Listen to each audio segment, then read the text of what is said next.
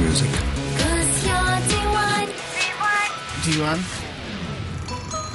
Micromax M2 looks like a music player, works like a phone. Micromax Mobile, nothing like anything.